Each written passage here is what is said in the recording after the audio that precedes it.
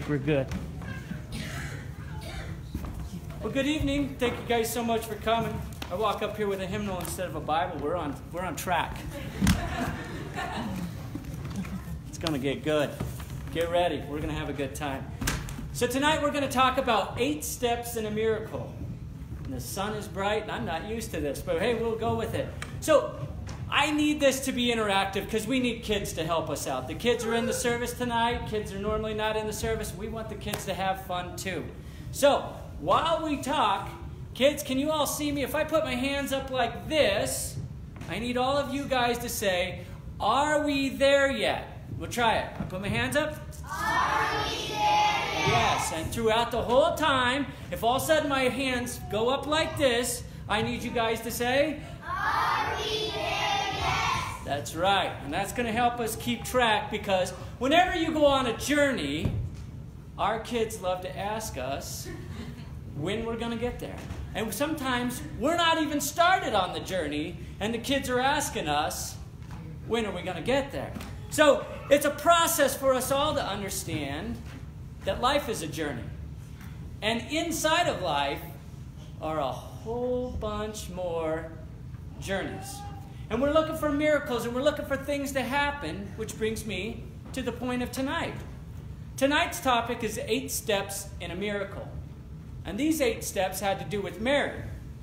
And Mary's miracle, we're not going to talk about Joseph's miracle because that may be for next year. But anyway, our step number one is that we mind our own business. If you look in the Bible from time and time again and throughout history, you'll always see somebody going along minding their own business. They're doing their own thing. They seem like they're on track, life is going whatever, and all of a sudden, they get recruited.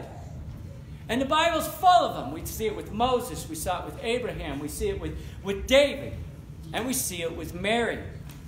Mary's going along, she's minding her own business, and all of a sudden, she gets encountered by an angel that starts to tell her about having a child and that this child is going to be a special child. Okay? Mary's probably wondering what was in her soup that night. A little concerned if you think about it. Wait a second. How many of us have ever had some sort of something in our mind that, oh, we're going to try this? And we start to really think about it, and you're like, that's not rational at all. I'm absolutely not. Why would I try that? What? What? You know, you hear little kids when little kids are like, "I'm gonna grow up and be an astronaut." And people are like, "Well, I don't know. You know, you better stay in school a little bit longer." We start to to put in the realities of it and almost kind of quench the vision that God puts in people's lives. And every one of us, I always say, have an individual purpose that God has called each one of us to. Each one of us have something that God wants us to do in our lives. And sometimes it kind of seems out there, and sometimes it seems pretty far fetched. And so what we have is Mary starting out. This is in Luke chapter 1. Mary's starting out. She gets encountered by the angel, and the angel says, You're going to have a child. And he's going to be named Jesus. It's not until way later Joseph ends up having a dream and gets told this is how what your child's name is going to be. You ever have something where two of you come together and you haven't even been talking about it. Just happened with Bree and I this week. We both had separate thoughts about something. We came together and we both started a discussion and we went, I had that too. I already knew that. Is that that's God. God ordained this. So God put this in Mary, the first beginning seed, said, You're going to have a baby. And you know what? Mary did what most of us do. Yeah, bless your heart, but I'm not sure if this is all real. And how do I know? And the truth is, we all do that. We kind of want a little bit of a little bit of something that tells us whether or not this is true. Something that kind of gives us a little bit more than just happenstance. And so God says, "Hey, listen. You go visit your cousin, and uh, she's going to have a baby, Elizabeth, and uh, you'll see what's happening." Where they lived, they lived dis- distance apart. So just so you guys remember, you kids in here, if you just remember this for a second, they didn't have telephones and they didn't have cars. So when people lived like 10 miles away, like from Carr to Wellington, that was like a once a year visit. That's too far away. And so she didn't know that her cousin was going to have a baby. She knew nothing about any of this. But that's okay. She went on this journey to be able to find out what was true. Oh, see, I'm checking. One more time, I can't hear you. No, but we'll be there soon. So, continuing on, so Mary makes a journey to go see Elizabeth and, and learn about what is going on. And that's the step number one. She minded her own business, but the step number two is now she needs to make sure she's not nuts. So the step number two in all of our journeys is we're making sure we're not nuts. And we all do that. There's some level of verification in this call. Am I losing it? Have I slipped a bearing? Because it can be fixed, but there's still time. I want to get it taken care of. The, so Mary goes over there and she's heading out. She's going to do this. She goes and visits her cousin. And we get on to step number three the commitment. But first, she has to make sure she's not nuts. So before she gets into the commitment, she's like, Elizabeth, you, I was told all of this sort of thing, and this is what's going on. And Zechariah can't talk at this point in time because, okay, backstory. You know how I do this. I always start to tell you about something and then I didn't tell you what happened before that. So Elizabeth and Zechariah were getting up there in years. They couldn't have kids. And so they wanted to have kids. This was a big deal for them. And Zechariah kind of doubted it and so forth. Well, he ended up going into the temple. And when God told him that he was going to have a child, he kind of didn't believe that miracle happening either. And so he became mute. And he couldn't speak, and God told him he wouldn't be able to speak until his child was born. So this all comes about. So now Mary goes here. She sees Elizabeth. She sees that Zechariah can't talk. But Elizabeth doesn't know exactly why Zechariah can't talk because they're trying to talk, but there's a whole communication barrier now. And she begins to see a miracle that's happening. And she was told something that seemed impossible. I mean, think about it. You see somebody in their 50s having babies every day, it's not normal. And so, can you imagine that Mary's getting told, hey, Mary, you're going to have a baby. And then, also, just so you know, your cousin Elizabeth is already pregnant and she's going to have a berry, a baby. And I bet she's thinking she'd have a very higher chance. It, it's, what are the odds? Think about that for a second. I'm going to okay. And now she goes there and it's true. Do you think that changes a level of faith inside of her? We all start on our journey and we get to that making sure we're not nuts. And, and God provides some little signs that all of a sudden help us go, okay, I can buy this. Uh, and this, this makes sense. I think we're heading in a direction. Because if you think about it, an immaculate conception is pretty intense already. To imagine that that would happen. And then on top of it, that this was the Son of God. I mean, you really think that that's legit? I mean, that doesn't happen every day. It had been prophesied for years, hundreds of years, and nothing had come about. So imagine getting to that point and going, I, I, I, I just, I'm not seeing it. I don't quite get it. I don't quite understand it. And now she's, she's starting to see it. And then Mary, she puts it in her heart and says, All right, I get it. I, I commit to this. And she sings. She has a song about this. She recognizes, okay, there's going to be a baby. I'm going to do this. But then we get to step number four. Try that again. No, but we will be. So bear with me. We're on to point number four. See, I'm very used to this. I've driven to Minnesota so many times, I think I have done it in my sleep. And I have been asked that many times. So moving on, we're on to step number four is training. See, when you get into a miracle and God's called you to do something, He doesn't just say, hey, go do this. He doesn't just leave you out there high and dry.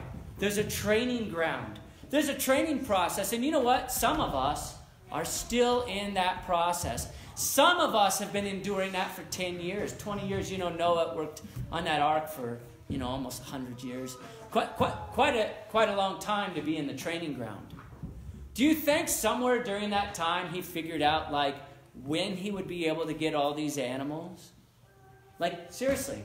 I mean, we, it's pretty hard to conceive, but if you think about if you were trying, okay, huh, I'm building an ark. Do you think over the course of a hundred years, Noah was able to deduce that if he just brought on a full grown elephant, it might be too difficult? Do you think he was able to deduce if we take the lion clubs, they're nicer to us than taking a big giant lion? I know we all see the pictures of Noah's Ark and they've got all these big giant animals and they're like hanging out there. But if you really think about how you get all those animals on the ark, they're, they're not so big. Now, what he did bring was full sized cows because they have something to eat some radishes and of. But they, they did do that. That was a process of training. It didn't happen overnight. David, he knew he was going to be a king. I tell you guys a lot of time. He ran for his life for how many years? How many years was he running from everybody else, especially Saul, who was after him, after him diligently to kill him? And yet, David continued to endure and endure. Or how about Moses? That Moses grew up in Egypt and he's doing his thing in Egypt and he's living life and so forth. And then he gets a little frustrated. He ends up having an altercation. He heads out into the wilderness heads out there for 40 years, minding his own business, expecting to be left alone. Do you think any of that was part of training ground? Do you think any of that was important when it was time for him to come back and get an audience with Pharaoh? Do you think he'd been trained? Do you think he knew how to get in the office? Many and many, many of us go through things and have issues in our lives that we have no idea is going to get us to the next step. Is going to take us in the direction that we're looking for. And, and it's, it's very surprising. Any of you ever get into something and you later go, now I know why I ended up doing that? You know, that paid off. My dad says things like that to me. We work on a project and he's like, see, I told you if you could learn how to run a drill, it'd pay off. Yes, Dad, you're right, you know. See, I told you if you'd learn how to put a couple pipes together, you'd learn something. Oh, God, it paid all these little processes that we have bring us to another level. But it's training. And so many of us think that that miracle is supposed to be tomorrow. We're supposed to have everything. Look at Mary. She just got told about a miracle, and there's nine months of prep. Did you guys ever notice that? You know, babies take a while to come for a reason. It takes prep. And all these young parents, we always go, oh yeah, we got it all figured out, you know, get the get the get the little, uh, what do they call it, the nursery all set up. And we want this to look so, and everything. And oh, we've got to have this, and maybe get some outfits picked out. You put all this work into having a baby, and then by the time we got to number four, we're like, she's sleeping right there. We got this. it's not that we didn't care. It's not that we didn't. What we were prepping for, we really had no idea. And sometimes first time parents are thinking of all these other things. I love it. You hear them say, We're working on a birth plan. We did that. We wrote out this birth plan. This is what we want. No medicine. We want to have it nice and uh, uh, nice and easy, natural birth. It's going to be beautiful, you know. And Lily was coming out. She was ready to go, man. And the doctor was kicking her shoes off trying to get ready to get this kid. It was no time. And the birth plan went its own way. Why am I saying that? Remember, the way we think it's going to go isn't God's way. We don't have the universe figured out. We don't know everything. We like to think we do. The scientists really work hard at working on that, but we don't quite get there. Are we there yet? No, but we will be. Bear with me. So the point is, is that we have to have a level of training in our own lives to get ourselves to the place that we can take the next step. And step number five, after we go through training, guess what we get to have? trials. And we have trials to make sure we were trained correctly. Because if you don't get trained correctly and you have a trial and the, you're failing the trial, then you have to see step number four go back to training. You fix that, and then you can go back to step number five and try the next trial. Now, some of us feel like all we ever do is endure the trials. But sooner or later, you're going to win them and you're going to get through them. But those trials get you ready for the miracle. See, every woman in here, I haven't experienced it, so I'm just speaking for the, the, the moms that have, have had a child. See, they experience something called baby movement. Children move around, okay? They like to kick the mom in the stomach right after she ate. throw a couple good ones. And the mom's like, oh, I just don't. Have. And, and the kid isn't even born yet. And the mom's already enduring a level of hardship. You watch that last few weeks before the baby's born. The moms love it.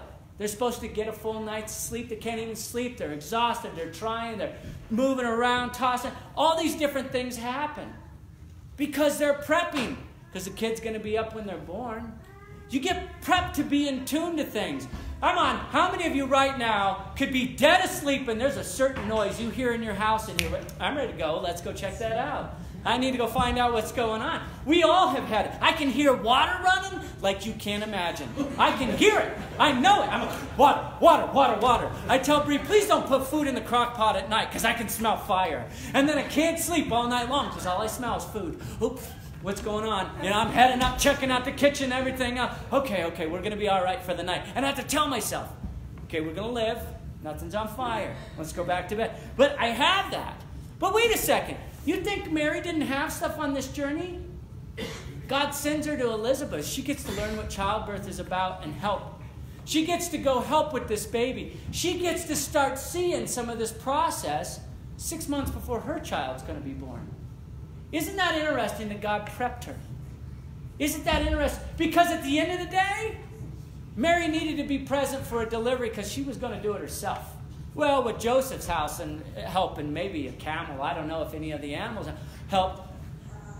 Are we there yet? Oh, see, we're not there yet, but I'm trying to get there. I'm trying. Bear with me. The point is, is we didn't know. Mary didn't know what was going to help her. She didn't know where things were at. So when you get to that place, you get some tests. So Mary's going through these tests, and now she's going to have additional tests because she's getting close to having the baby. She gets the test of finding out, hey, Joseph, so uh, I have something to share with you. Now, Joseph is like, is that a tumor? Would you like to like let me in on the secret? I need to know what's going on. And it's one of those situations that I can't even imagine in that time the way people were treated and what she was having to endure just to tell her husband, hey, I'm having a baby. This was a stressful time. Now, on top of that, now they get to go out for a census because God has everything figured out. And this journey is going to bring Mary to a place that she's able to have a baby in a spot, no other spot on the planet where there is going to be the greatest star shining for this child. No other star. You could go to this place over here, but it won't be anywhere else. How about let's think about this? Let me help you out. So, we had an eclipse in the United States this last summer. And that eclipse happened. Any of you doubt that eclipse didn't happen? No, we all know it did. Scientists, the smarter people than me, said this eclipse is going to happen. And there's going to be a funnel where this is going to be the best. People sold their house, their wives, their cars, whatever they had to get rid of to go to a spot in Wyoming for one day to experience the eclipse. I tried to see it from here. We got to see it through a special little box, you know, got to see a little bit of it. But you didn't experience the eclipse anywhere else as good as in that belt. So you have to understand that you've got a star shining in the sky, and the most magnificent display this star is going to shine is in Bethlehem and nowhere else on the planet. And the scientists, these astrologers at the time, these three kings, they call them the wise men, they call them the magi. These dudes saw a star constellation forming. And they said, We have got to get to that because under that is going to be the King of the Jews. That's where it's at. It's coming under those stars. That's a big deal. So they start following that on a journey that Mary had no idea was going on. Mary and Joseph are doing their own thing. Do you think the star was in the sky above them? We had Hale-Bopp Comet a while back, just a few years ago. Maybe it was 20 years ago now. I can't remember. But we all could see it. Everybody could see it. This comet was in the sky. It was at first kind of cool. We all saw it a few times. And then it became, yeah, it's there. And we move on. Kind of like the mountains. We live along the mountains. They're pretty. We like to look at them, but we don't look at them like when somebody comes to visit and they're like, oh, look at that. Yeah, yeah, yeah. We take it for granted. Do we not take it for granted? Well, Mary and Joseph, it's not like there wasn't a star constellation occurring above them. They're going, and on this journey, they're worrying about other issues. How many of us have the whole world's issues on our minds all the time? We're just trying to like keep the water running, keep the mortgage paid, keep the car, oil changed, keep the kids happy, keep the kids from being so happy so it's not so loud. We, we're trying to get everything that we can do to enjoy our lives. In the midst of our miracle, can you imagine? The Bible's very clear that Mary and Joseph were ordinary people. They weren't loaded. They didn't have all this money. They didn't have somebody to hire. Now, Joseph had a donkey, we would presume, and we, he's going along with the donkey and all this. But my guess is, I hope it was like pretty broke. We've got three donkeys at our house. Sometimes they're a bit of a challenge. They're fun, they're nice, they love to be pet. Limpy's the nicest. He limps for a reason. There's a long story, I won't go into that tonight, but it happens. These animals can be ornery sometimes. Can you imagine, honestly, guys, you sit, sit on a donkey, pregnant nine months, to go on a journey? Can you imagine? You guys realize that was like 90 miles? It's like from here to Denver, kind of quasi, about an hour drive. Some of you know it, you're guilty if you can do it in an hour. It's not an hour drive. That's not an hour drive. If you're doing it in an hour, I caught you. See, see if you guys are paying attention. Are we there yet? Not yet but we're almost. So the point is, is can you imagine a journey that far and you're going to do it on the back of a donkey? Or better yet, Joseph with his little flip flops and he's trying to go clear across the earth. I mean, seriously, can you imagine how much fun that would be? Do you think that's not a trial?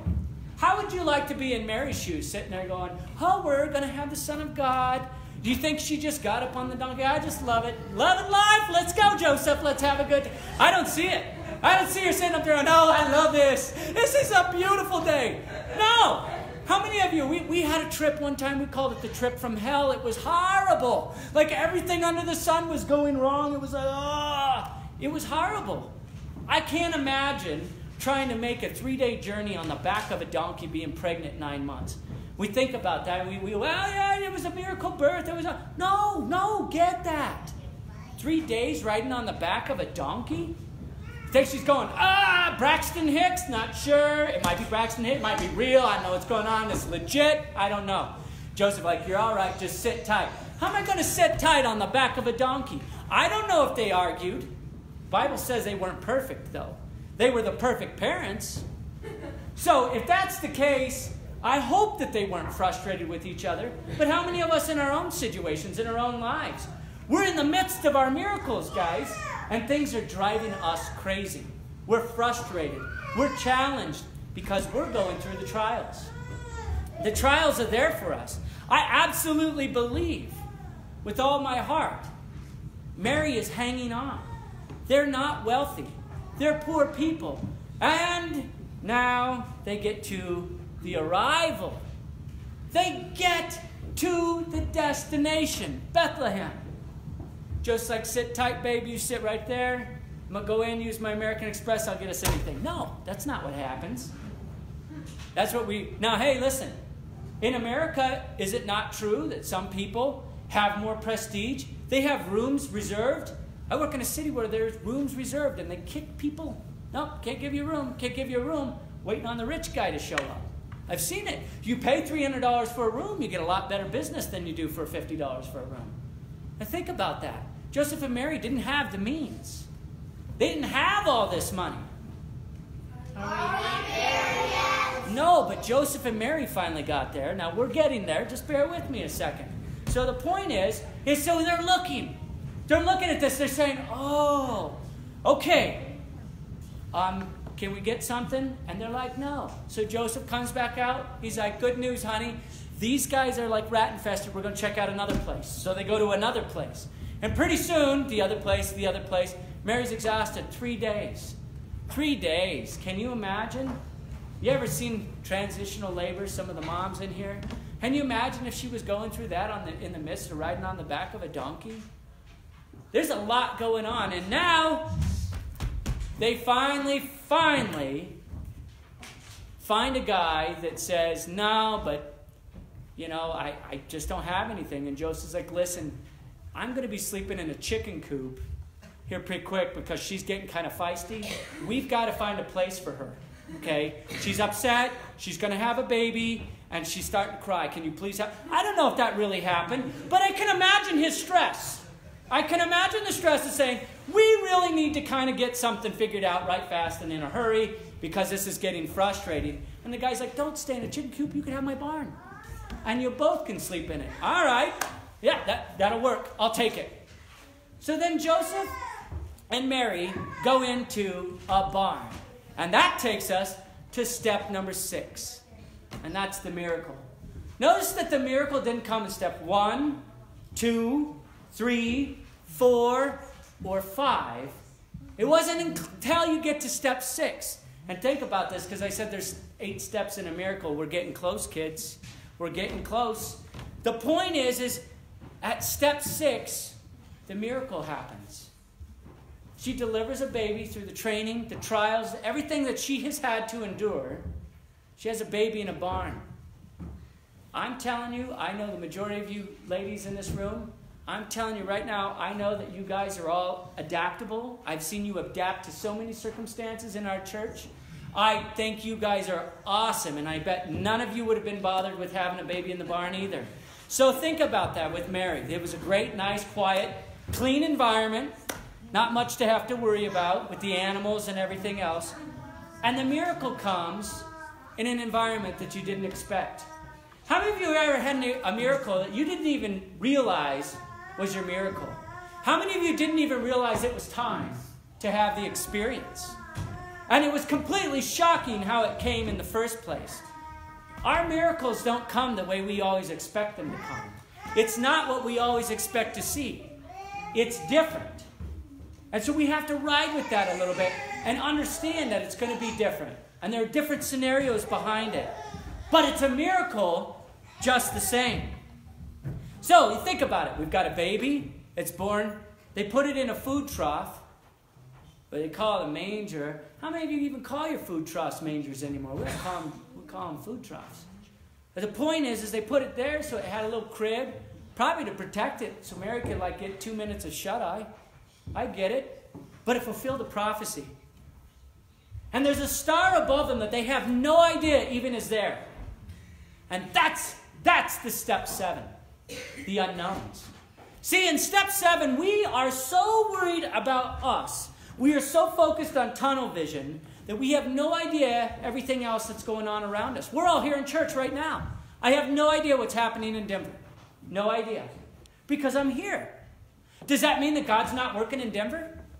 Does that mean God's not doing something in Denver? I have no idea. But knowing our God, I'll bet He's doing something. The point is, is there's unknowns. God got it started. See, when Mary and Joseph are having this baby, angels appear to shepherds out in the field and they go, hey, check this out. The Christ child was just born in town. You have nothing better to do tonight. Why don't you go check it out? They're like, sweet, we want to go see this. There's a huge celebration going on out in the fields. They're like, this must be a big deal. I have got to see this. That's what my Aunt Myrna did when we first moved into our house in Sterling. She was like, I have got to see this. She came in and just started walking through the house. Hey, she wanted to see it. Hey, you know, was, we were like, whoa, what, what are you doing? She just wanted to see our house. And can you imagine being that shepherd? Don't confuse the shepherds with the wise men. Two different. We see the nativity scene. But the shepherds are different than the wise men. The shepherds are out taking care of their animals. Angels appear to them. The wise men saw a star. Get that, guys? Following me? All right. Are we there yet? No, no. But we're almost there. Mom and Dad, hang on. We're getting close. All right? So the point is, is so the shepherds get told by the angels, and God had that going in the background. And then there was a star. Everybody saw this star, this constellation. Okay, whatever.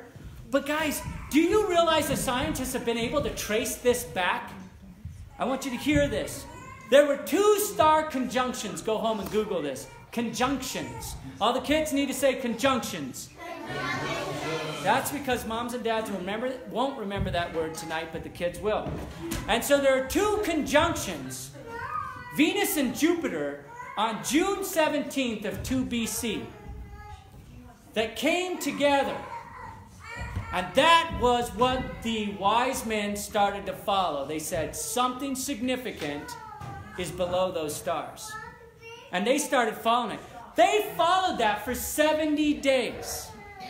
70 days that went on. And then guess what? On August 25th, 26th, scientists can't quite tell exactly, but in those two days, roughly, in 2 BC, there was a sixfold conjunction. Sixfold conjunction. Mercury, Venus, Mars, Jupiter, the sun and the moon aligned. 93%. You could go to the University of Colorado in Boulder at the planetarium and look up the Star of Bethlehem and check it out. Am I making this up? We know in the Bible it says there's a star. We know in the science world there was a big system happening that they saw. And they followed that. Mary and Joseph had no idea. Mary and Joseph were like, check this out. I think that star's following us. Do you notice that? She's like, get the donkey there. Could you quit looking around and watch the road? That's what they do. She's getting frustrated. But guys, it happened. It happened all around them. Whether we think it's happening or not, whether we realize that God's at work around us, everything's happening around us. Just because you don't see it doesn't mean it's not happening. So then it goes on. They go to Jerusalem. Okay, fact check. Jesus, born in Bethlehem. Jesus came from Nazareth. Three wise men, Jerusalem. Three different cities. Got that? They go to Jerusalem. They're like, check out what is happening over Bethlehem. Herod, we want to know because that's the king of the Jews. Herod went, um, um, hold on. I, am the king. I'm the king. So whoever this dude is, we need to rub him out. Kids, your mom and dad will explain that later. The frustrating thing is, is he's upset and he's after that baby. So Herod sends people to Bethlehem. That baby's already been born. The wise men continue to follow the stars. Well, have you guys ever noticed that our Earth goes like around and around the mulberry bush 100 million times fast? Okay? The stars begin to move apart, just like the solar system works. And what did the three wise men do? Guys, I want you to look this up. It's so important to understand. It's really explained in, uh, in uh, Matthew chapter 2. 2, right? Hold on, I got to look at my notes. I forgot. Yes, Matthew 2. In Matthew chapter 2, the wise men didn't go when the baby was born. They started following the stars, and you'll see that it says they went to the house of Mary and Joseph. So we know they'd already gotten back. They followed this back and actually went to Nazareth, where they gave the gifts. No, guys, we're not there yet, but so close I can taste it. So the three wise men get there. It's happening in the background. The three wise men get there and they bring gifts. Everybody's like, Dad, they brought gifts. That's why we give gifts at Christmas. Yeah, well, it's kind of like that. But you know what those gifts were for? For the blessing and the anointing on that child. Because everybody forgets, and what we don't talk about is Herod was ready to go kill that baby. Do you think after they figured out that they blanked in Bethlehem, they weren't headed to Nazareth? They already had a census. And so God appeared to Joseph through a dream. It was actually the angel Gabriel, and told him, You need to flee to Egypt. How do you think he had the money to do it? All the gold, frankincense, and myrrh, that's, that's all special properties and value so they could raise the Christ child. See, God works a miracle that you don't even understand. You're like, Thank you for this gift, and you have no idea. Everybody's in the midst of a miracle in their life. I believe it with all my heart. We always have different things that are happening to us, and different things happen for a reason, and we don't always understand them.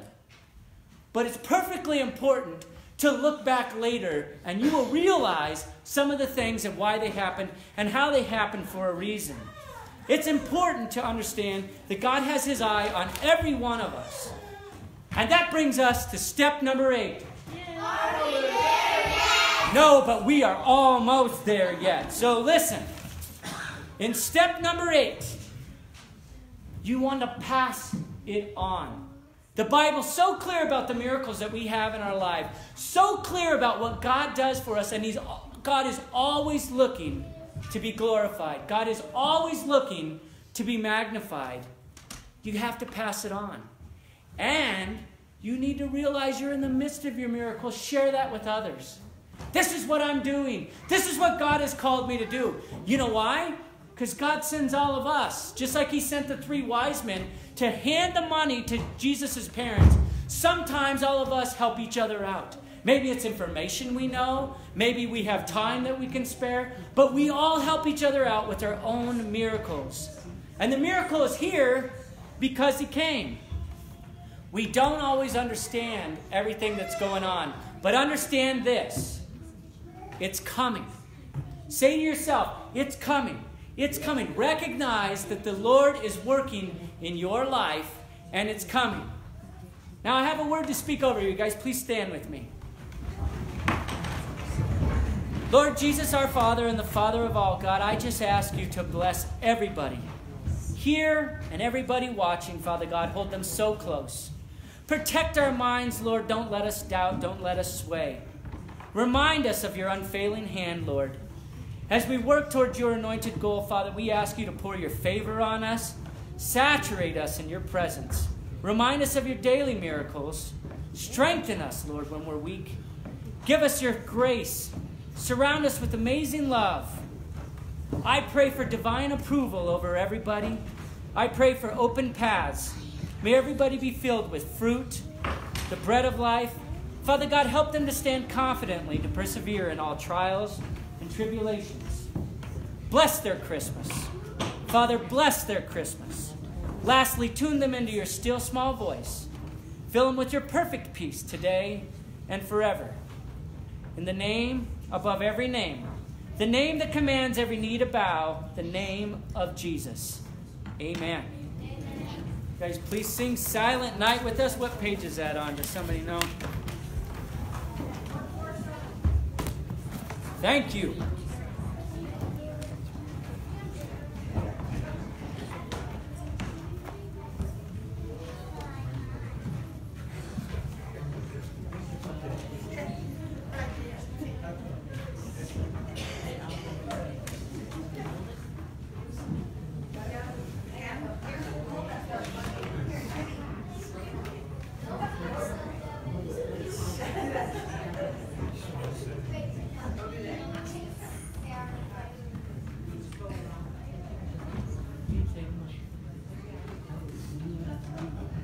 We almost have it.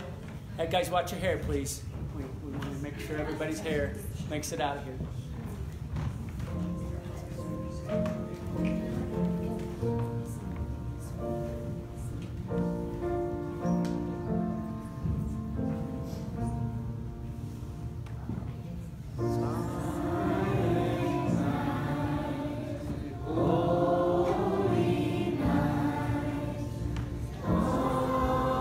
is come.